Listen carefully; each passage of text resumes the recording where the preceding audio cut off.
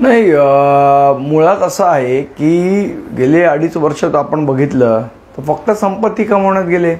आता तुम्ही काय करताय? सिंपती कमवताय की माझं असं झालं मी आजारपणात होतो त्यामुळे मला असं वाटतं की सन्माननीय बाळासाहेबांच्या नावावर जी मिळणारी सिंपती होती आता तो विषय संपलेला आहे.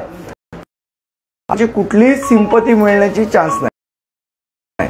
बरं दुसरी महत्त्वाची गोष्ट की ज्या पद्धतीने ही डब्ल्यू डब्ल्यू एफ ही चाललेली होती म्हणजे संजय राऊत एक प्रश्न विचारतायत त्याला उत्तर हीच ही सगळी येते. डब्ल्यू डब्ल्यू एफच्या मॅचेस जर आपण बघितल्या असतील तर त्या तशाच असतात. दोघं एकमेकांना इतकं मारतात पण असेल तर विचारा तुम्ही मला. शुभेच्छा. प्रत्येक कोणालाही असो वाढदिवसाच्या आमच्या शुभेच्छाच आहेत.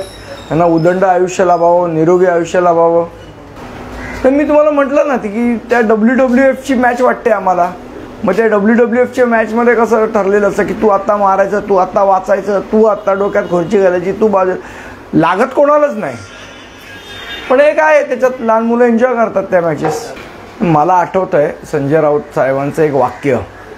ज्या वेळेला सन्मान्य राजसाहेबांना ईडीची नोटीस आलेली त्यावेळेला ते असं म्हणाले या केंद्रीय तपास यंत्रणा असतात त्या आपापलं काम करत असतात. त्यामध्ये कोणी काही बोलायची गरज नाही. हे संजय राऊत साहेबांचं वाक्य होतं. कदाचित विसरले असतील तर त्यांना एखादा व्हिडिओ पाठवून देईन मी.